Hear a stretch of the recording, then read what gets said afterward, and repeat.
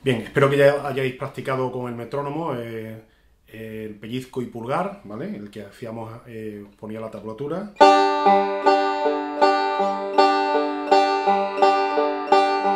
¿Vale? ¿Os acordáis de esto?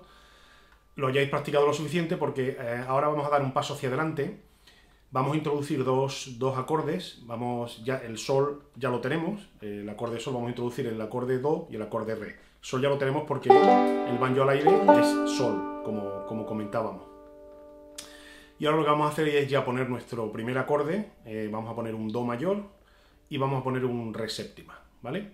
Entonces voy a acercar la cámara al mástil del banjo para que podáis ver la posición de los acordes y a continuación os explicaré cómo aplicar este patrón de pellizco pulgar o bien pulgar pellizco, de las dos maneras se puede hacer, eh, sobre esos acordes para, para tener nuestra primera canción. La primera canción que vamos a tocar va a ser esta que se llama que decimos en español la canción de la despedida, el For, for Old Syne, esa que se, normalmente se, suele cantar eh, en los países anglosajones, se canta en el año nuevo, al, entrar el año nuevo, al finalizar, digamos, cuando suenan las campanadas, se canta esa canción, ¿vale? En cuanto la, la, la, silbe un poco, porque cantarla va a ser difícil que yo la cante, pero en cuanto la silbe la vais a reconocer. Bien, pues voy a acercar la cámara para que veáis los dos primeros acordes bueno, los tres primeros acordes, porque aunque uno ya lo tenemos, pero para que quede claro. Bien, pongo así la, cámara para que se vea bien el mástil, más bien la parte de arriba del mástil, la parte de arriba. Yo normalmente esto es arriba y esto es abajo. Eso es mi forma un poco de hablar, aunque en realidad es al contrario. Cuando, cuando los banjistas están hablando sobre esto, esto es, esto es abajo y esto es arriba, ¿vale? Porque lo que hace es subir en cuanto a la al timbre, vamos a llamarlo así, subimos los tonos son más agudos, por tanto lo llaman subir. Pero yo, mi, forma de, pensar es un poco más física que, por sonido, más de, visual, y entonces, digamos, esta es la parte de arriba. Bueno, eh, lo que decíamos, el, el, acorde sol ya lo tenemos, como hemos comentado, si yo doy, yo toco las cuerdas al aire, obtengo el acorde sol, ¿vale? Y ahora vamos a agregar los acordes do, y re séptima. ¿Vale? Muchas canciones de bluegrass simplemente constan de, esos tres acordes. Eh, sol, do, re, o bien sol, re, do, eh, en múltiples combinaciones, o re, do, eh, sol, vamos, combinaciones múltiples y ritmos variados, pero muchas veces consisten en estos tres acordes. Vale. Bueno, el acorde sol, ya sabemos, al aire, hay otras, otras formas, pero vamos en este primer primera, esta primera aproximación lo vamos a dejar así. Y el acorde Do lo pondríamos de la siguiente manera. Ponemos el, índice en el primer traste de la segunda cuerda. El, dedo eh, corazón lo ponemos en el segundo traste de la cuarta cuerda. Y el dedo anular lo ponemos en el segundo traste de la primera cuerda. Do, ¿vale? Entonces tenemos Sol, Do. Sol, Do. Y el tercer acorde va a ser Re séptima, que lo pondremos. El índice lo, mantenemos como en el Do, lo mantenemos en el mismo sitio, es decir, en el primer traste de la segunda cuerda. Y el dedo anular, perdón, corazón, lo vamos a poner en el segundo traste de la tercera cuerda. Entonces tendríamos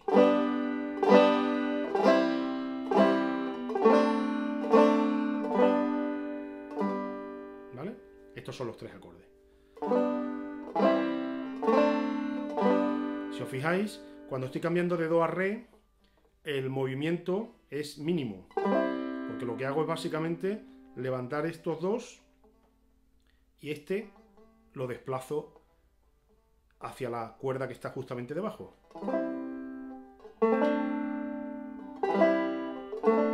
Esto es una norma muy, muy muy práctica y muy común, es decir, eh, eh, al tocar un instrumento prima la ley del mínimo esfuerzo. Si algo nos cuesta mucho esfuerzo, eh, salvo que no haya más remedio que hacerlo así, es que estamos haciendo algo mal. Si algo nos cuesta mucho esfuerzo, eso nos va a inducir a equivocarnos, a tocar cuerdas que no debemos, a tener que estirar demasiado, etc. Entonces, la ley del mínimo esfuerzo en este caso es, la, apropiada. Es decir, es mucho más fácil hacer así simplemente levantar un dedo y tener que levantarlo todo. Entonces, buscando esa ley del mínimo esfuerzo, dejamos anclado este dedo y movemos solamente uno. ¿Vale? Este queda al aire y este queda aquí. Pues paro aquí y ahora vemos cómo aplicamos el pellizco, pulgar, pellizco, pulgar sobre estos tres acordes para tener una canción. Bien, recordábamos lo de eh, pellizco, pulgar, pero lo vamos a hacer al contrario, vamos a hacer pulgar, pellizco, ¿vale? Vamos a hacer primero, primero pulgar, luego pellizco y alternando.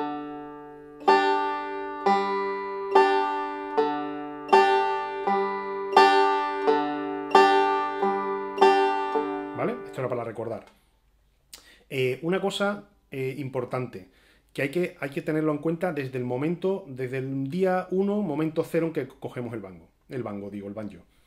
Eh, esto no debe ocurrir. Si miráis mis vídeos antiguos, estoy todo el rato dándole al parche, ¿vale? Todo el rato, ya sea con esto o sea con esto. Esto pues no debe ocurrir, eso es un, fallo, fallo de principiante. Y la mejor manera de de no darle con el pulgar en el parche, sobre todo con el apoyo del pulgar, es no darle con el pulgar en el parche. Me explico. Es, lo, que dicen todos los, maestros y todos los profesores. Tienes que ser consciente de ello y buscar la forma levantando, buscando, arqueando los dedos, como sea, para que esto, a ser posible, nunca de aquí. ¿Vale? Puede costar trabajo al principio, pero el trabajo al final siempre tiene recompensa, como, como ya sabéis de sobra. Entonces, mucho cuidado con hacer Ahora ya casi quiero hacerlo y no me sale, ¿vale? Pero mucho cuidado con darle con, el parche. En este, este, parche concretamente, que es, que es liso, ¿vale? Suena un poco menos. Pero si tuviéramos un parche de estos que son blancos, que se llaman frosted, porque tienen una especie de, capa rugosa por encima, pues eh, suena incluso más todavía que, aquí, ¿vale? Bueno, pues el ejercicio es el siguiente. Habíamos quedado que era pulgar, pellizco, pulgar, pellizco. Pues lo que vamos a hacer ahora es eh, vamos a tocar un compás pulgar pellizco con, la cuerda, con las cuerdas al aire. Perdón. Y cuando hayamos tocado un compás, vamos a poner el acorde Do, que muevo así para que se vea cuál era, y vamos a tocar el mismo pulgar pellizco. Y volvemos a Sol. sol recuerdo que es que no hay, no hay manos por ningún lado. Tocamos otro compás y ahora tocamos otro compás con, el, acorde re. Eh, aunque vamos a poner el acorde re así, como, como os he enseñado, ¿vale? Sin embargo, en realidad esta cuerda no la vamos a tocar. Solamente vamos a estar tocando, es decir, que podría estar tocando esto solamente y sería el mismo, el mismo sonido, ¿vale? cualquier caso, lo vamos a poner así porque nos va a hacer falta más adelante para, otros usos, ¿vale? Entonces nos tenemos que acostumbrar a poner esto y no solamente el dedo así, ¿vale? Entonces lo que tiene que quedar es una cosa así, que me voy a hacer alejar para que se, se vean las dos manos completas. Subo un poquito, porque creo que si no queda abajo, ahí. Esto sería, ¿vale?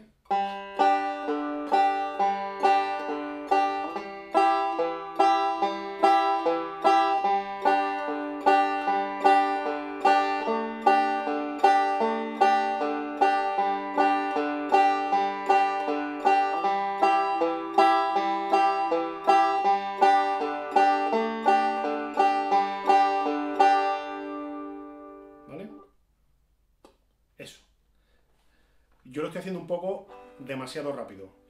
seguramente lo estaré tocando en torno a 100 bits por minuto, 90 a 100, y lo que hay que hacerlo es empezando con el metrónomo, lógicamente, a 60, ¿vale? 60, 60 que puede ser una cosa como... Perdón. Mira, ¿ves? Ya he dado con el parche.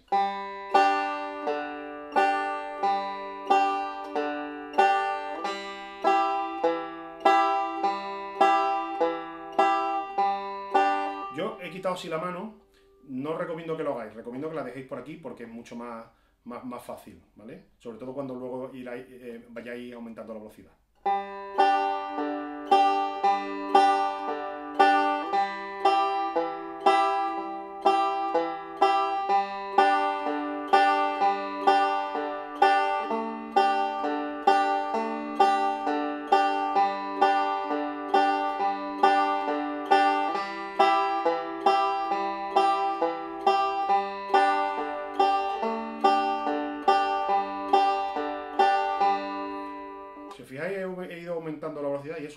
Por no, tener el metrónomo puesto. Bueno, pues eh, ahora os muestro la, canción que os comentaba. Y por último ya la canción, ya vamos a, aplicar estas tres cosas. Entonces lo que vamos a coger es eh, la canción esta que llamamos la canción de la despedida, ¿vale? Los acordes son sol, do, re, pero eh, en vez de ser sol, do, re, vamos a hacer sel, perdón, sel, la mezcla. Sol, re, do, ¿vale? Sol, re, do. Empezaríamos...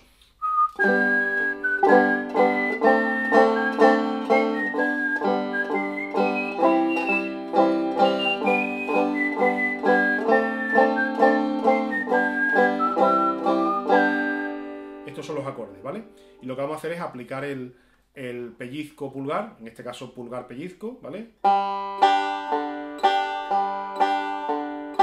Si queréis podéis ir silbando, que es más fácil seguir la melodía si uno la va silbando internamente. La melodía y, la división de, en compases. Entonces hacemos... Perdón.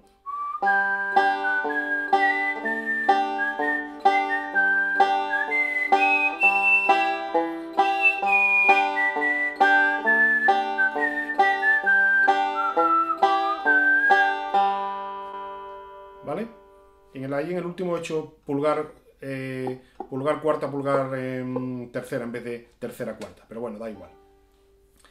Em, como siempre, primero la practicamos mm, lento, como hemos comentado, a, unos 60 y vamos subiendo poco a poco. Si, estamos mm, cómodos a 70, pues a 70, ¿no? Pero quiero decir, desde una velocidad cómoda, cómoda, cómoda significa que la puedo hacer sin equivocarme nunca, ¿vale? sin, meter ninguna nota de más, sin equivocarme en el cambio, ni nada, ¿vale? Bueno, pues eh, os pongo la tabulatura aquí debajo, eh, como adjunto, vamos, el, link, y nos vemos en el próximo episodio. En el próximo episodio ya vamos a meter algo muy típico de Bluegrass, que es el, el slide. Esto. ¿Vale? Deslizamos una, ponemos un, dedo en una cuerda y, la, y deslizamos hacia abajo. Vamos a hacer un patrón simple y luego lo vamos a ir complicando.